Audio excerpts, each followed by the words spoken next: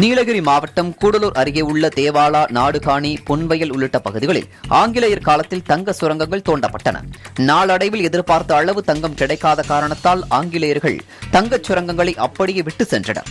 இந்நிலையில் கோல்டு மையின் பகுதியில் உள்ள தங்கச் சுரங்கம் ஒன்றில் காட்டு யானை ஒன்றின் எலும்பு கூடு வனத்துறையினரால் கண்டெடுக்கப்பட்டுள்ளது. கடந்த ஆறு மாதங்களுக்கு முன்பு காட்டு யானை தங்கச் சுரங்கத்தில் விழுந்து வெளியே வர முடியாமல் உயிரிழந்திருக்கலாம் என வனத்துறை தரப்பில் தெரிவிக்கப்பட்டிருக்கிறது.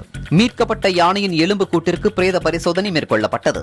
சில நாட்களுக்கு முன்பு தங்க சுரங்க குழிக்குள் விழுந்த குட்டி யானையை மீட்டு வனத்துறையினர் தாயுடன் சேர்த்தனர் என்பது குறிப்பிடத்தக்கது.